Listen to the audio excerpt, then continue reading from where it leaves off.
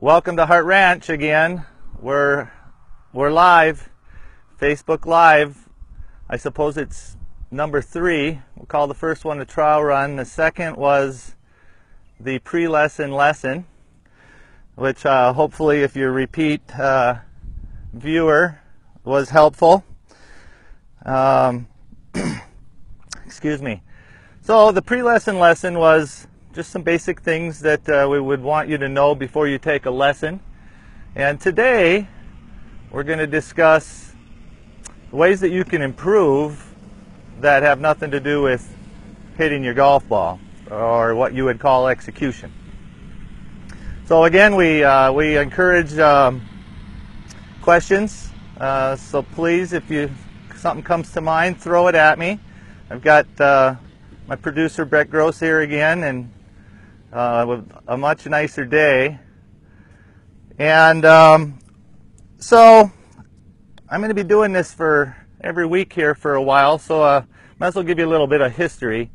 Uh, I was a director of golf at a course in Makaha, Hawaii for, I guess, director for three or four years. But anyway, it got uh, purchased and closed. And at that point, I was, I enjoyed running golf courses, but the industry had become quite challenging with too many courses and not enough golfers and water prices where they were. It, it was a struggle to make money.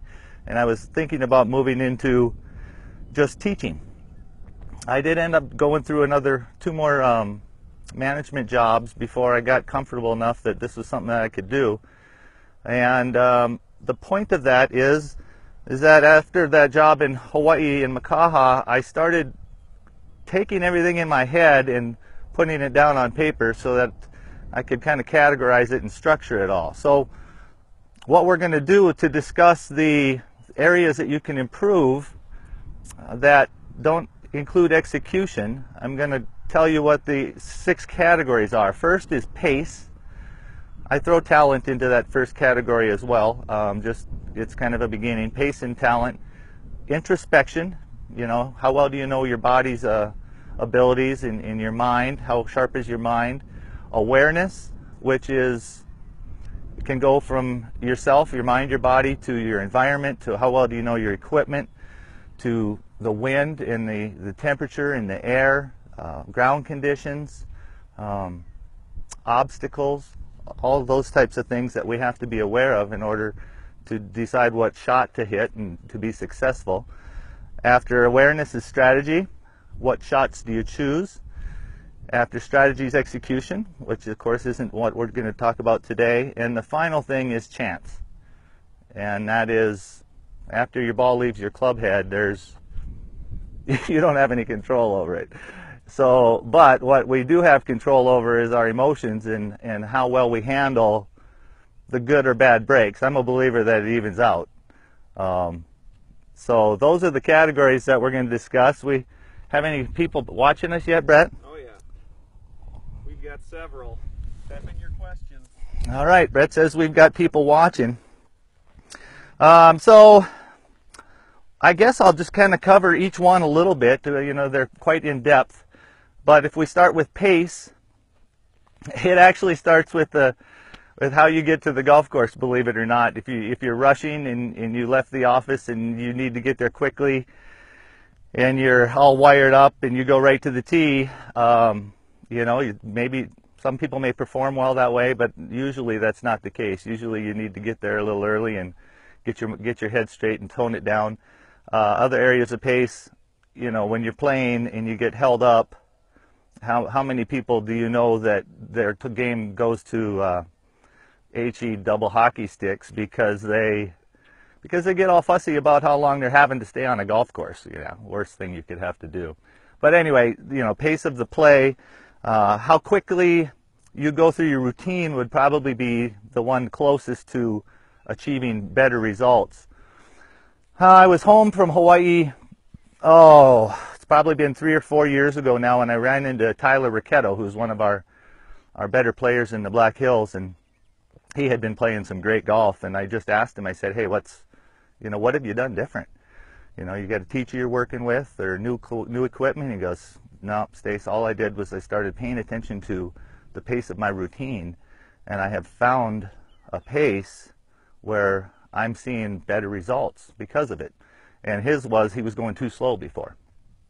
And you'll hear it a lot from commentators on TV, you know, especially down the stretch when they're the heat's really on, they're playing their last few holes. You'll hear them often talk about the players need to slow down their, their stride and they tend to get going too quickly.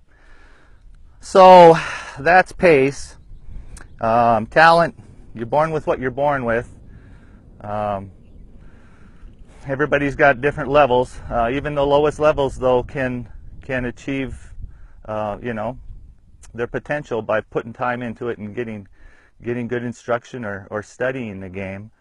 Um, and it, is what it is. Uh, the the more talented people get away with mechanical flaws and flaws that others just don't get away with. So, like myself, I would consider myself in the you know maybe mid to above average range, and I very much have to go through a checklist um, as far as my routine to make sure that everything's covered, as opposed to my buddy Ryan Messick, who just puts the club in his hands and steps up to it and doesn't even have to think, and he hits good shots. Same as my friend Shane Langstaff. We don't have either of them watching, do we, Brett? No, not yet. Okay. So that's pace and talent. No questions yet, right? Nope, nothing yet. They want to hear the whole spiel first. Um, let's get to something exciting. Introspection. Okay, no, not really. You know, introspection is just um, knowing your body. Um, I caddied on the pro tour for one summer uh, here two, I think two summers ago for Will Collins, and um, that was my most eye-opening experience to introspection because uh, a tour professional's job is 24/7. How much they sleep, how much sleep they get, what what they eat, when they work out, uh, even the bed that he sleeps on, you know, is is a big issue because when you're playing for a paycheck, um, all those things become that much more important. Um, and the one thing that I remember from him, uh, that when we're playing, he would he would often remind me, "Hey, um, you know, remind me I got to get something in me to eat," because he's worried so much about his golf that he he you know can't remember everything. That's what a good caddy does. Get you your apple when he asks for it. Uh, so that's introspection, knowing your body, um, knowing your mind. Awareness is, is now we're getting, as we continue, we get closer to the things that are going to affect the, the everyday golfer. Uh, the better you get, the more fine-tuned it is, and uh, you know, a person who shoots 100 isn't even going to be able to comprehend the things that uh, Will Collins does. So, awareness, though, is something everyone has to pay attention to, and uh, it starts with with distance, knowing how far you hit your clubs. Um, Will and I would actually, every shot we played in a practice round, we would measure the distance his ball flies.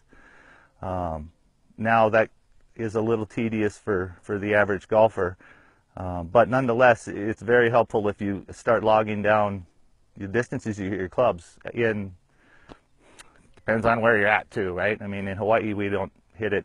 I hit it a club or a club and a half less than here because you're at sea level and there's more humidity. But paying attention to the yardages, uh, the wind, ground conditions, um, and what we're going to get into specifically, I'd like to pay the most time with here is uh, lie. Very important before you figure out, before you determine what kind of shot you're going to hit, that you pay attention to your lie. And I don't know how well we're going to be able to see it on the camera, but that's okay. We'll just, is it? We get some high def action going on here. The old, uh, the old, the old iPhone. So, especially, uh, well, not especially around the greens, but around the greens um, is the scoring zone. And because you don't have as much clubhead speed, you don't get away with the, what you will with a full swing because you've got enough clubhead speed to get through poor lies. Um, but with the slower clubhead speed, you really got to be conscious of uh, your lie. Now, it's not only whether you're where your ball is sitting, but um, side hill, downhill, all that stuff comes into play. But what we're going to discuss is is how the ball is sitting on the ground, and uh, a lot of people don't aren't conscious of it. I'm surprised when I play golf as I've traveled, and I'll I'll mention it to someone, and they'll be like, "What the heck are you talking about? That looks exactly the same to me." But there is a big difference between whether the ball is sitting in a little bit of a depression or if it is sitting up on top of the grass. You're you're just not as likely to get the, your golf club underneath this ball as you are this one. Logic says it's sitting down. It's further down. It's kind of sitting in a depression. It's a trickier shot. The one that's sitting up, you know, it's going to be much easier to get the club underneath. I can hit about any shot we want with this one. Um, so what you will ultimately go to, you'll go to what your strength is when you have a good lie. If you're a great chipper, go for it, you know, but you do need to also have a realistic perception of what your strength is, which I just, I'll tell you, that's just not the case. I, I get, I get people coming to me and, um, with a 25 year trained eye, they, you know, my perception of reality differs from theirs, and that's why they come to me. So, um, so I don't know what that's got to do anything, but come see your pro. Um, so the point was, if it's sitting up, you can do about anything with you, that you want. But the ball that's sitting down into a little depression or not up on some grass you can get underneath, you would want to use the lowest amount of loft that you feel like you can get away with. And in this case, of course, it would be the putter. We don't have any, we don't have any blemishes or bounces or clumps, no long grass. This would be an easy putt.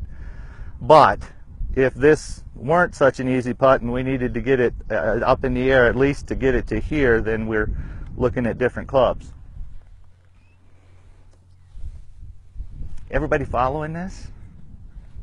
I think so. Yeah, Brett, you just making some sense to you? I got it. No questions? I'm so explanatory that nobody has any questions? No, not yet. And you, Ashley Wentz j- the video feed. she so- did? Yep. So shout out to Ashley. Yeah. What are we, a couple weeks away from partying right here for her and Matt? Um, okay, so let's get back. Where was I talking? I was talking lie.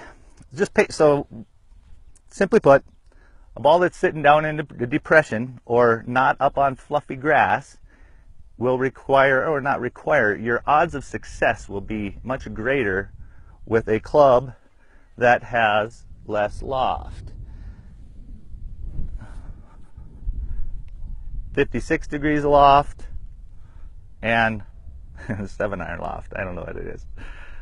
So this is the less lofted club. This is 7 iron. And the way we and the reason that it's safer is because to hit a ball up into the air with a with a lofted club, you've got to create speed to to pop it up. So you've got to go much quicker. And then if you happen to hit the equator of the ball because your club is going so fast, it flies over the green. So I'm sure everyone who's played golf uh, any amount knows that experience. We've all had it. So that's the reason that the flatter faced or the less lofted club gives you more room for error because you're, you're not having to generate that quick speed to pop it up. You're giving it more like the same amount of speed that you'd give a putt. And it comes off the face, and, and if you don't quite hit it right, if you get it a little high or a little low, it's still going to go about the same distance that it would if you hit it perfectly. Whereas the old 60 degree or 56 degree, that's just not the case. We're working out here. Beautiful day. What are we putting in? New addition to the OC. Oh, the OC is improving, ladies and gentlemen. I was thinking it'd be nice to run you all through my my new digs here because they're not the same as they were when I left. This was actually the clubhouse that um, we worked out of my first year, and then the second year we moved up to the big old fancy building. Um, and this has become the, the 19th hole, and great food, great beer, great television, It's gonna have a drive-through. and hey, if we got a drive-through, I mean, how many golf courses have a drive-through? I know it's less than half. Okay, so let's get to teaching some more. Talking about things that you can do that don't have anything to, with, to do with execution. And uh, hey, question coming in. Just gonna wait for it. This it. is uh, good morning. Good morning. This is your mom. Ah, nice. I need new clubs this year. What should I buy? Or how should I go about it? Huh? Mom needs new clubs. Well, people don't realize it yet. Um, Mom, thank you. I love you for calling. When I say I need uh, participation, I know I can count on my mother. Um, and what I was going to say was that people don't yet realize how important club fitting is. And so this fits in with the topic, Mom. You're perfect. Another way you can improve your game, and it does kind of have something to do with your swing because you're fitting the clubs to your swing. But once they're in your bag, they're your clubs. They got, you know, that's what you're playing. So it's extremely important. You know, I hear it all the time. Oh, I'm not good enough to get fitted clubs. well, they, what those people that say that don't understand is they're the ones that, that need it the most. It's it's the talented golfers that I was talking about earlier, the ones that have equipment that fits them great already or their standard height that that are gonna gonna they're better off.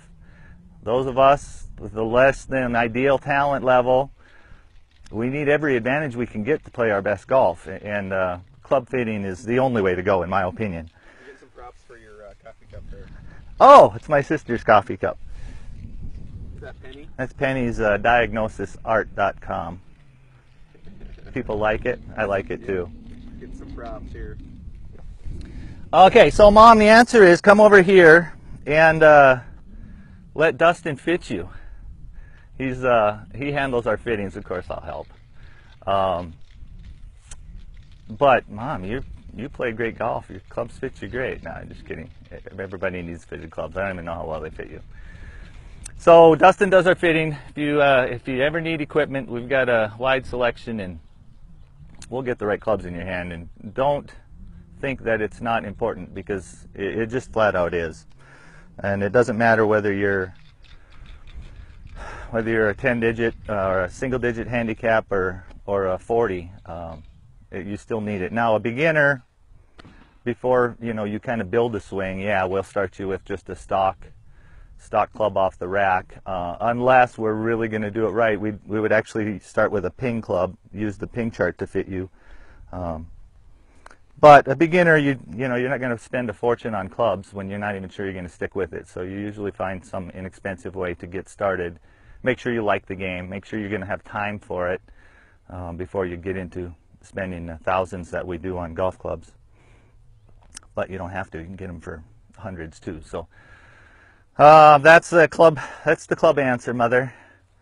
She's making an appointment. She's making an appointment. Love it. The um, back to the ways you can improve. Oh, you getting another question?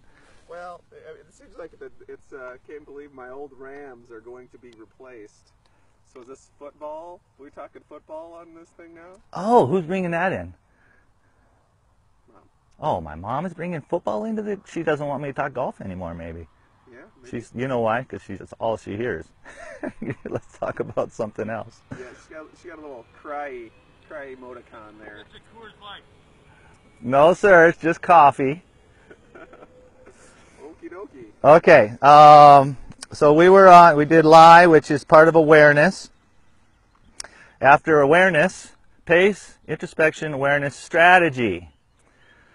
Well, we've discussed strategy a little bit by so your awareness of your your variables will help you then determine your strategy. You soak up all the variables you can. You take into account the distance, the the wind, the all the things we discussed earlier, and you have to come up with a strategy. Now, most people, because they're out here just playing for fun, are gonna, you know, they're gonna put it down all on black, or however you say it when you're gambling. You're gonna try the hardest shot because you're out there for fun. All right, we got a we got a question in here from Jason Jason, who? Himrick. Ah, okay. Himrich. Yep. About a 10 handicap. My chipping is keeping me from the next level. Would like a recommendation. Like, would like you to recommend focusing on one club for chipping with, say, an 8 iron bump and run, or try to get the 52 56 firing. And I need to see more here. He's got firing as well, is what he has. So looks like uh, like to recommend like you to recommend focusing on one club for chipping, say eight iron or bump and run. or trying to do the 50, 52 or 56 firing as well? That's the question. Okay. Adam. You got all that? Adam asked if we're still filming, and I said, yeah. Oh, Our greenskeeper. really? He wants to show us a pheasant. All right, Matt, back to back back to golf. Um, okay, chipping. Well, we're going to obviously go away from the things that you can do that aren't execution because this is execution, but it's it's extremely important. Putting's, you know, arguably the most important, right? Because that's the one we're hitting in the hole.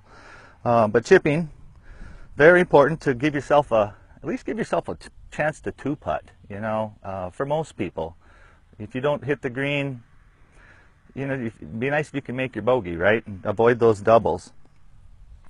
As far as using one club,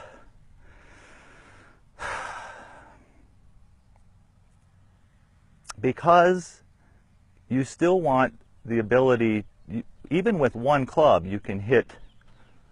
And I'm going to grab a pitching wedge because if I was stuck to one club, I think pitching wedge would be the club I would use. Now, I would recommend that you don't just use one club and that you expand your game uh, and your skill set.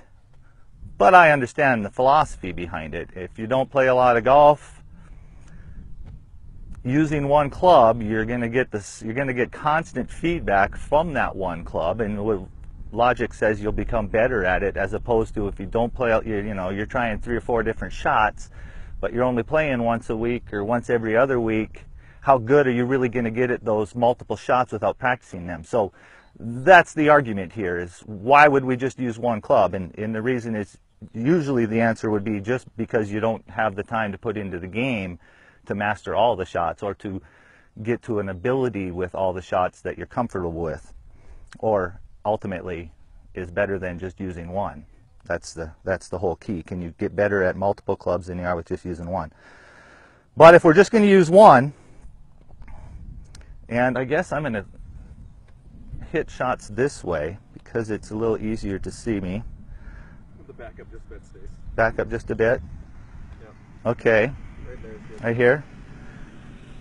We, yeah, everyone needs a stock shot or a staple shot. Uh, I call it stock. You have a stock shot, and for the short game, well, for any for any shot, it's it's how much wrist action are you going to use, and and how much acceleration are you going to use, and you want to find a, you know, you're not going to use a lot of wrist action for the most part on your stock shot. Your stock shot, you're going to use a little bit of wrist action, but you're going to keep it to a minimum, maybe. So this is no wrist action here. You see how my arms aren't moving at all?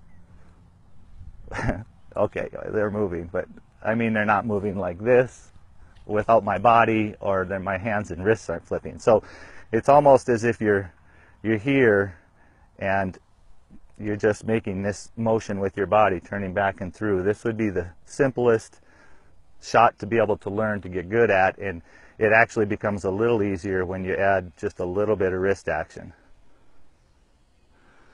And keep your weight on your front foot. We want to hit the ball with a descending blow, and in order to do that, the handle of the club needs to be forward. Body weight needs to be on your front foot. Ball position needs to be behind your center or more towards your right eye so that we can catch that ball with a descending blow and advance it. This is very important, holding your finish. So that would be a stock shot. And then you learn within that stock, or you learn to visualize that stock shot and plan it, plan it out. Try and get the right amount of power. Now, we were talking about how we can use other shots, even though it's one club, we can hit them lower or we can hit them higher. So the more we de-loft the club, the lower it's going to go. So even with this club, if I decide, oh, hey, I, I don't want to hit it up in the air as much, I'd like to get it lower, I can get the ball back in my stance, I can keep my hands forward, and I can make impact with what we call a dynamic loft position. Dynamic meaning it can change, and because the static loft is is what it's built with right here, this this angle. But dynamic, we can make it go lower by bringing the handle forward, or we can make it go higher by bringing it back. So that's dynamic loft. So we can get that dynamic loft lower, keep the hands in front, and hit a lower shot. Now, to hit a higher shot, we aren't going to Back about a foot. Back about a foot. To hit a higher shot, we aren't going to take the club and put the handle behind the head because we still need to catch the ball with a descending blow. What we do is we open the face, and that's open. And if we could do the same thing to hit it lower, to go closed, but because we can take the handle forward, that, that's easier. But to hit it higher, it, we the only way to hit it higher is to is to open up the face. Now we can max out our our static loft and make sure that we make impact with that club as close to vertical as possible. But you just it's just pretty much too hard to try and make impact here with the club behind the handle behind the ball. It just doesn't work out because your club is ascending and we want it to be descending. Hopefully that this is making some sense. okay, so to hit the higher shot, we open the face and we swing on the same path that we would if it were square, but because the face is open, it's going to pop it up that way, so it's going to go higher and it's going to go to the right. So what we do is we aim for it. So if I'm trying to hit it at Brett, this could be fun. Yeah. There we go. I'm going to open up my face and I'm going to aim the face of the club maybe slightly right of him because our path is going to be going this way, which will pull it in a hair. And I'm going to swing along my shoulders and feet still, just like I would if it were square. And by doing that, the ball will pop up and go higher and, and go more to the right.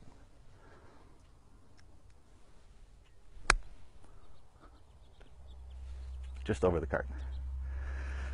Okay, so let's see. Did I get that? Did is that helpful, Brett? You think I answered that question right? That's great. And we do have a clarification. The ram that was referred to earlier were the clubs, but apparently we're too young to realize they were ram clubs. Oh, I wish that were the case. Maybe Brett. I'm too seasoned. I know Rams. My first pro in Hawaii was a Ram sponsor and got to meet Tom Watson. Tom Watson was a Ram guy. And the the Laser X2, if you still got the Laser X2, that was as good an iron head as a Ping I2. Uh, funny how they kind of gave the similar name. Maybe that's what they're getting at. But they made some they made some really good golf clubs. Um, which, while we're here and have time and gets us back onto golf clubs, reminds me to tell you that you can, just because your irons are old, doesn't necessarily mean that they're bad. There certainly are some that are, but there's a lot of good irons that were made um, in the 80s and 90s and 2000s even, obviously, that were that were really good. The the area where you're going to see that you've Just given a pano.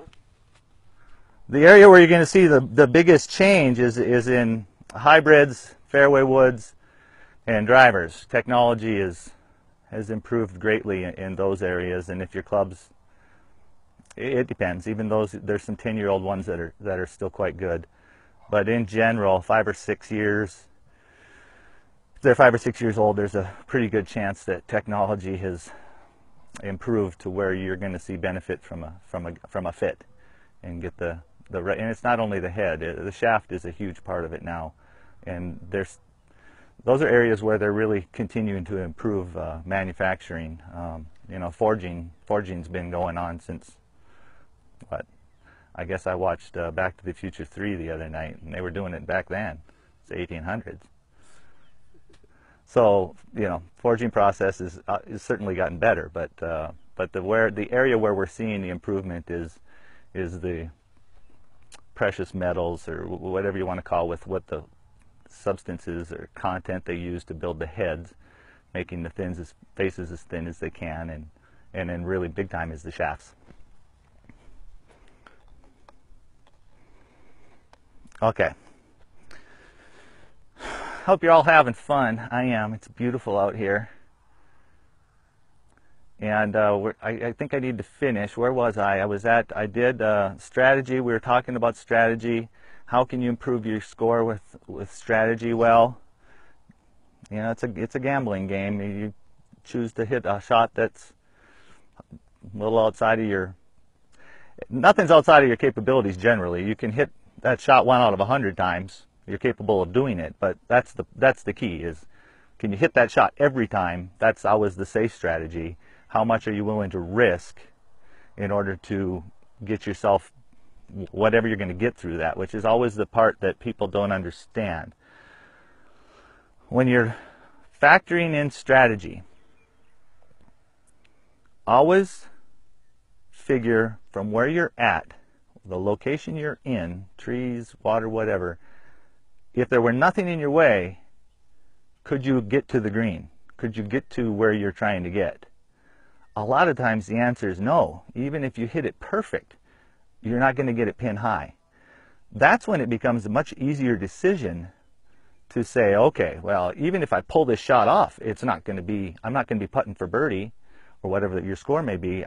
I'm still going to have to probably hit another shot to get there. So that makes it easy to say, well, if it's going to take me two to go 150 yards, I can go 75, 75 if I go this way. If, th- if I go this way, even safer, I can go I can go 25 125 whatever. So and that's probably a little short on the distance for what I was getting at but hopefully you see the point is that if you can't get there in one anyway try and figure out the best way to get there in two so that you can manage your score. And that's that's usually uh, what strategy comes down to after you've already taken into account the the wind and the, the length and the obstacles and the ground conditions and in your physical state, um, you know, if you're really hung over, you probably want to swing easier and hit a club more. Remember Brownsville? Remember Brownsville? a little tin cup action there. Uh, and that so that's strategy, uh, execution. Uh, we're not. We got into a little bit today, um, and then the last thing is chance. You know, once you're club leaves your ball leaves your club, you're it's going to do what it's going to do. It's going to take some funny bounces and might end up in the hole, um, or it might end up in a hole like like that, which isn't the best. Okay, Brett, that ran us through pace and talent, introspection, awareness, strategy, execution, and chance we didn't certainly didn't get into all of the the variables and all the things that we can do but what I would like you to understand today and the point that I was trying to get across the most is that there's a lot of areas a lot of things that you can pay attention to that don't have anything to do with how you hit your golf shot that you can use to improve your game and of course that's the big mental part of it um, and which is why I have more fun now, to be honest, teaching on the golf course than than the range of the putting green because you're out there in a real situation and um, I've had students that I know darn well I got them swinging better um, but it didn't necessarily mean that their score improved. Um, should you would think but that that's not always the case you know you still have to once you get up around the green you still got to get it in the hole. So that's why putting and chipping becomes so much so much more important. And um, and I hope that these aren't too long and boring for you to sit through and listen to but uh, even if you just get bits and parts uh, hopefully you'll come visit us. Because it's beautiful out here and we've got a great facility. We've got two big greens. We've got the public range the private range. I can always take you out for to play a hole or two which again is, is my favorite just to see see what you really do because another thing that you'll do when you're practicing you, you you're really you're relaxed you're loose there's no pressure on you um, I see, get people on the golf course and even though you're not playing for anything, well, being in front of a teacher, of course, is part of the nervousness. But that aside, you still feel pressure because you uh, you're trying to achieve a score. Um, so that adds a variable to the game that you don't get on the practice range unless you try and create it mentally, and it's not that easy to do. So, any more questions, Brett? No, no more questions Ah. here. All right. A couple of clinics and get golf ready's coming up, don't you? Yeah. Yes, uh, I've got some people signed up for our first group lesson, which is called Get Golf Ready. That's a program the PGA of America and USGA, I believe, they're all involved in putting it on. Um, it's inexpensive, under $100 is the how it works for minimum five lessons, and you've got to get a little bit of golf course action. Uh, and I'm really excited about it. I haven't, my last two jobs weren't, they were indoor, and I didn't do any group lessons, beginner group lessons specifically, um, which is something I really enjoy. Um, because I just love this game. I just, to me, there's, it's the best, and I want people to experience it. And it's not for everybody, but boy, if it's for you, then if I can help you get that striking feel to where you can advance that ball on a consistent basis, eh, there's, there's really no reason that you won't play unless, unless it's not your thing, which is okay. But, uh, but I'm excited. I've got some new new programs that I've been uh, doing that have I've found proven results with, and see what kind of golfers we can make here in Rapid City this spring and summer, fall too. So that's that. Uh, hartranch.com is uh, our website, and the School of Golf's got links. Um, thank you to our uh, inquiries, Matt and Ruth Ann, my mother. And uh, with that, I'll say thanks. Brett, you have anything to add? Nope. Great day. Beautiful day at Hart Ranch. Penny's Art.